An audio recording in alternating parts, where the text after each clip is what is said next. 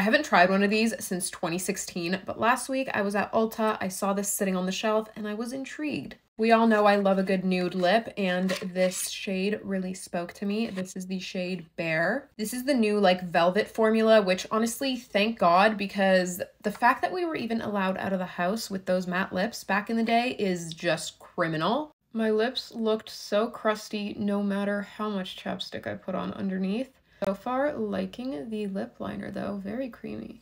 But now for the moment of truth, the scariest part about this let's see, the Velvet Liquid Lipstick formula. A lot better than the liquid lip, I'm gonna be honest. Um, I was expecting it to feel just as heinous as it did back then. Really love the shade. Love the lip liner. Can we buy these separately? Do we know? The liquid lipstick, it's not really drying. It's not really like crusty or annoying. Do I like it better than just like a regular bullet lipstick though? I don't know. I'll update you guys.